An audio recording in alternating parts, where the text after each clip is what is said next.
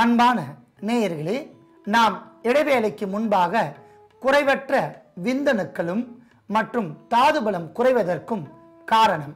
அதற்கான அறிகுறிகள் போக்கிக் கொள்வதற்கான எளிய வழிமுறைகள் முற்றிலும் நீக்கிக் கொள்வதற்காக நாம் எடுத்துக்கொண்ட மூலிகை விதை வெங்காயத்தின் விதையை பற்றி பல அரிய மருத்துவ குறிப்புகளை தெரிந்து கொண்டோம்.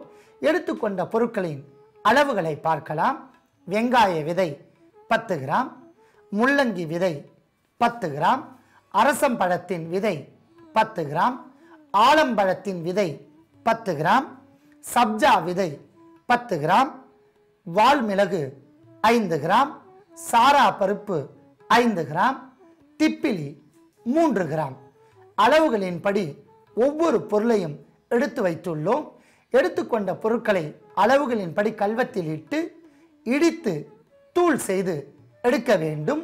அன்பான நேயர்களே கல்வத்தில் நாம் சேர்த்த அத்தனை பொருட்களையும் நன்றாக இடித்து தூள் செய்து எடுத்துவிட்டோம் அதி அற்புதமான முறையில் ஆண்களுக்கு மட்டும் பயன்படுகின்ற ஒரு ரகசிய மருத்துவத்தை எளிமையான பொருட்களை கொண்டு செய்துள்ளோம்.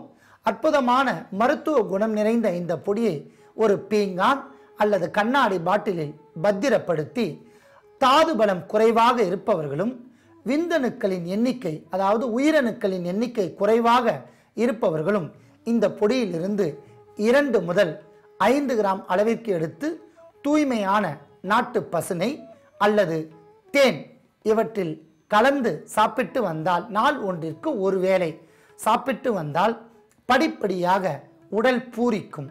ஆண்மகனுக்கு உண்டான அத்தனை அம்சங்களும் உடலில் ஏற்படும். தாதுபலம் அதிகரிக்கும். உடலெங்கும் ஒரு வகையான முறுக்கேறும். நரம்புகள் பலம் பெறும். குறைவற்ற விந்தணுக்கள் உற்பத்தி செய்யும்.